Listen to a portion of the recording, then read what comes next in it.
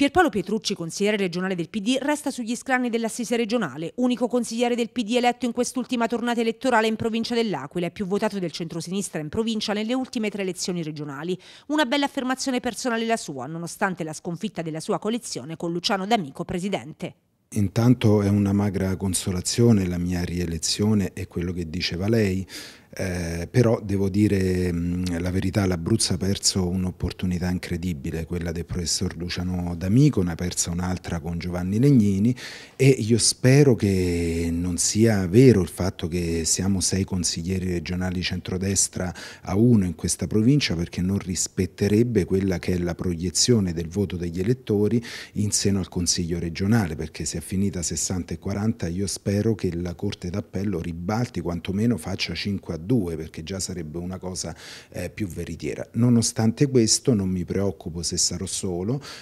Pietrucci continuerà dunque il suo ruolo di opposizione attiva e costruttiva se il presidente Marsilio deciderà di ascoltare anche la loro voce su temi importantissimi. L'opposizione sarà un'opposizione costruttiva in parte e dipenderà da Marsiglio, cioè se Marsiglio ascolterà quelli che sono i problemi eh, che vengono rappresentati, che rimangono eh, soprattutto sulle questioni di vita reale della regione Abruzzo e mi riferisco in particolar modo alla sanità pubblica, ai trasporti, al governo del territorio eh, che sono stati i drammi veri della giunta Marsiglio, eh, noi sapremo fare un'opposizione costruttiva, viceversa aumenteremo il conflitto, come ha fatto in questi cinque anni. Se sono stato premiato eh, da una valanga di voti di gente che è venuta a votare, a scrivere il nome Pietrucci, lo devo soprattutto al modo, alla postura di stare in consiglio regionale facendo un'opposizione forte su questi temi